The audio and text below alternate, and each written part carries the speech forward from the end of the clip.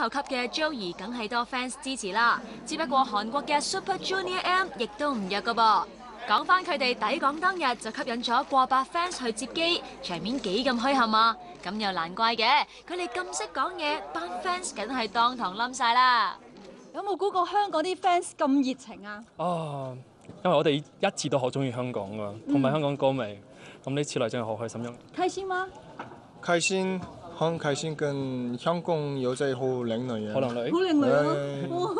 저희가 홍콩에서 이렇게 많은 활동을 하지도 않았는데도 불구하고 그 저희 슈퍼주니어 또 슈퍼주니어 M을 굉장히 사랑해주시고 관심 가져주시고 이렇게 응원해주시고 지지해주시는 우리 홍콩 가족분들께 너무나 한번 이 자리에서 다시 한번 감사드린다는 말씀 전하고 싶습니다. 大家好，我係 Henry 啊！呢一次真係好開心啊嚟到香港，跟住 I love you all。